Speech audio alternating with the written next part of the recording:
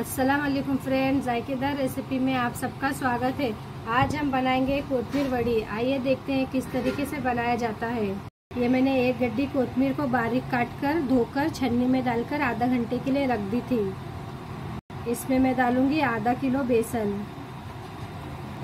एक चम्मच शक्कर, एक चम्मच गरम मसाला पाउडर, दो चम्मच मिर्ची पाउडर,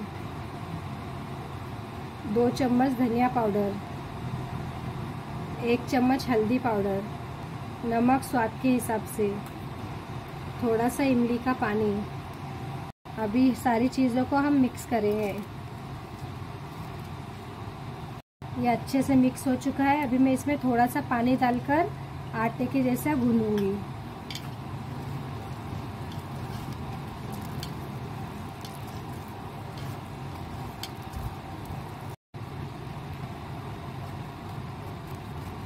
देखिए, ये आटे की तरह गुनकर हो चुका है। अभी मैं थोड़ा सा हाथ में तेल डालूँगी और दोनों हाथों को तेल लगा लूँगी। अभी हम इसको शेप दे देंगे। देखिए, ऐसे गोल गोल कर कर हमें इस तरीके से इसे लंबा करना है।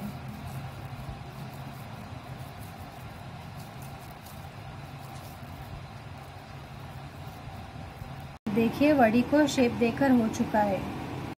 अभी मैं इस तरीके से छन्नी लूँगी और इसमें थोड़ा सा तेल डालूँगी। तेल डालकर इसको अच्छे से फैला लूँगी। अभी बनाई हुई वड़ी को मैं इसमें रख दूँगी। इसी तरह हम दूसरी वड़ी को भी शेप देंगे। फिर से हमें हाथों में तेल लगाकर ही वड़ी को शेप देना है। गैस पे मैंने देखिए एक डेगचे में पानी डालकर गर्म होने के लिए रख दी हूँ। अभी इसके ऊपर मैं छन्नी को रखूँगी। और इसे ढक्कन लगाकर 10 मिनट तक के भाप में पकाएँगे। 10 मिनट हो चुके हैं, अब हम इसको चेक करेंगे। अभी हम बीच में इसके चाकू चुबाकर देखेंगे। देखिए, चाकू में बिल्कुल आटा नहीं लगा है, यानी कि ये पक चुका है। अभी गैस को बंद करके हम इसे ठंडा होने के लिए रख देंगे। देखिए, आलू बड़ी ठंडी हो चुकी है, अब हम इसको कट करेंगे।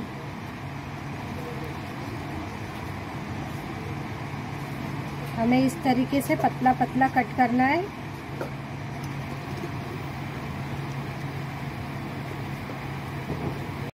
देखिए, मैंने सारे बड़ी को कट करके ले ली हूँ, अब हम इसे फ्राई करेंगे।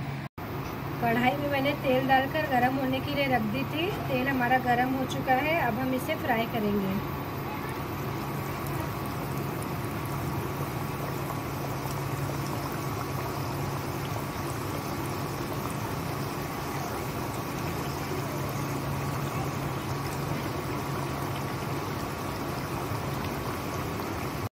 अभी हम इसे चारों तरफ़ से गोल्डन फ्राई करेंगे।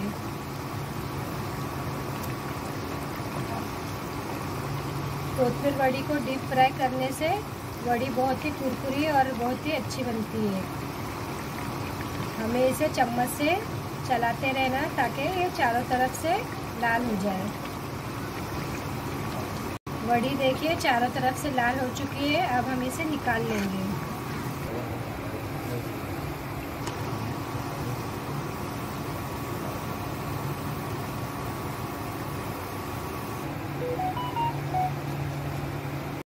इसी तरह हम सारे वड़ी को तलेंगे।